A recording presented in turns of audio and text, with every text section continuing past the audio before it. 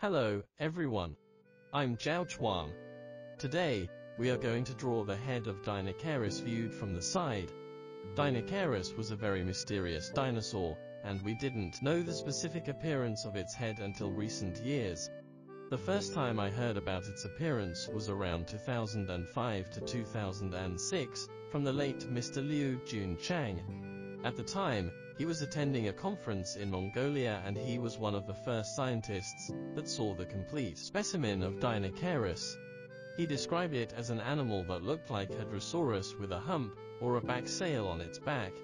In the early years, I drew a similar picture based on imagination, but because it was too early, it looked quite different from the one we know today. The exact shape of its head was more exaggerated than I imagined or heard at the time. Deinocheirus had a duck-like face with a particularly thick lower jaw.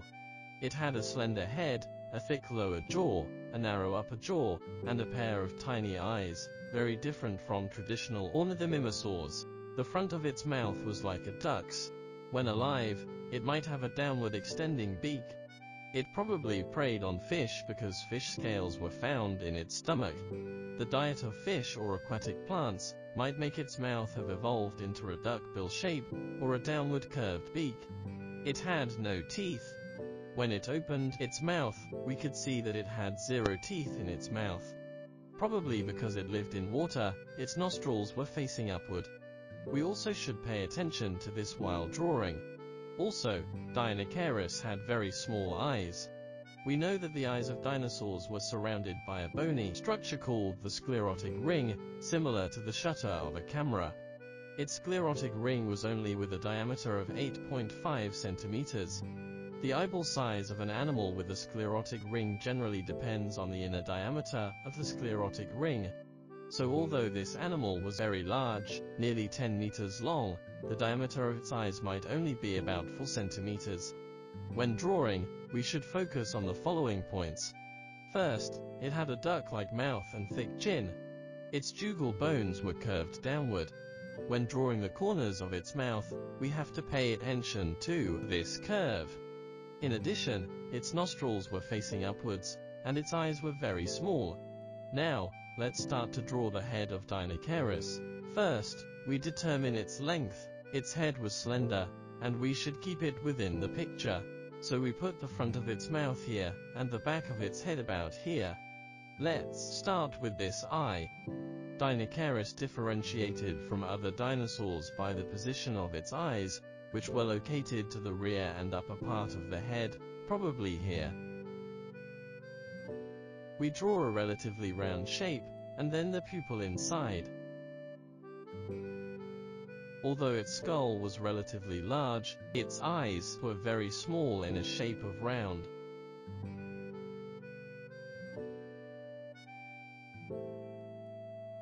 Its head was about 1 meter long, while its eyes were only a few centimeters in diameter, which were quite tiny. Then, we draw a brow-like bone above the eye.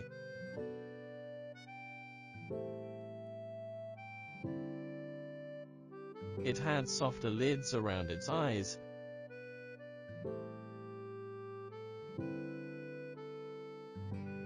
Next, we draw its mouth.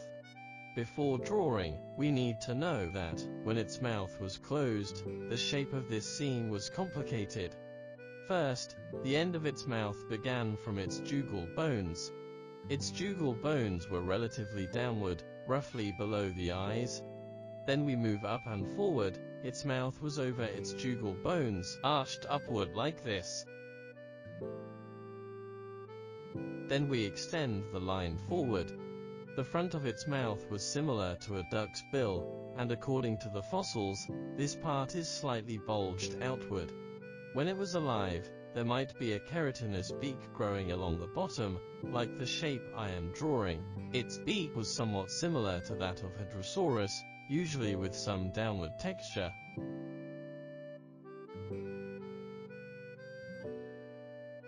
Then, we draw its nose. From the nose to the top of the head was basically a straight line.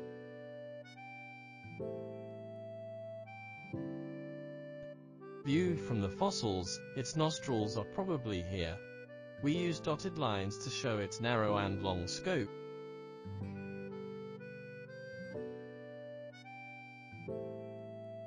Unlike other dinosaurs, the opening of its nostrils might be in a higher position.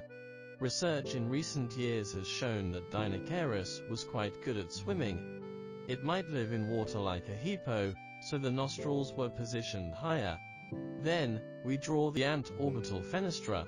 Many dinosaurs had the antorbital fenestra, and Deinocheirus had them relatively backward, and slightly smaller, probably here.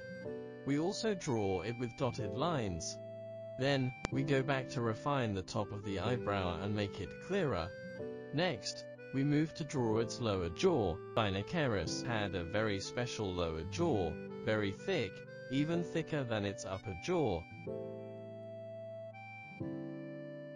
From here to the rear, about here, it was thicker than the upper jaw.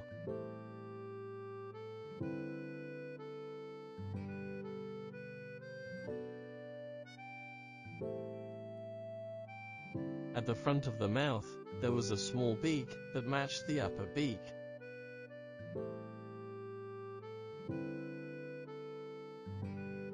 We draw some lines on the beak to show the hardness. Next, we add some details. Draw some wrinkles at the corner of the mouth.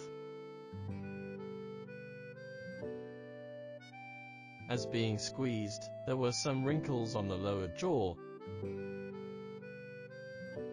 Because this part was relatively soft, like many modern birds, such as geese and ducks.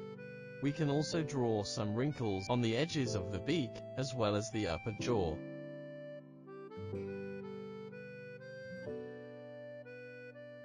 Draw some muscles at the rear of the face, since it was thicker here.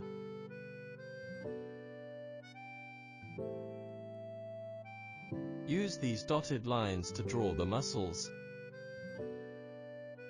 Then, draw some textures on the chin to show the thickness. Behind the eyes, at this position, we draw the back half of the temporal fenestra. Then draw one ear here. Now, we draw its neck. There might be some very short fine hairs on the top of its head, and its neck, so when drawing the back half of the neck, we can draw more fine hairs. The neck was curved. We know it preyed on fish in the water because fish scales were found in its stomach. It was a bit like today's waterfowl, and we draw the throat sac just below its throat.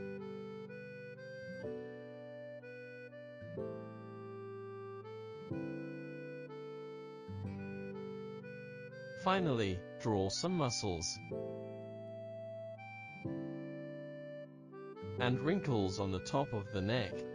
We can slightly show the boundary between the feathers and skin on the neck.